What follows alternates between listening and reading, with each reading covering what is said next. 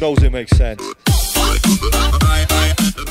So, guys, we did it. We reached a quarter of a thousand subscribers, 250 subscribers, and still growing. The fact that we've reached this number in such a short amount of time is just phenomenal.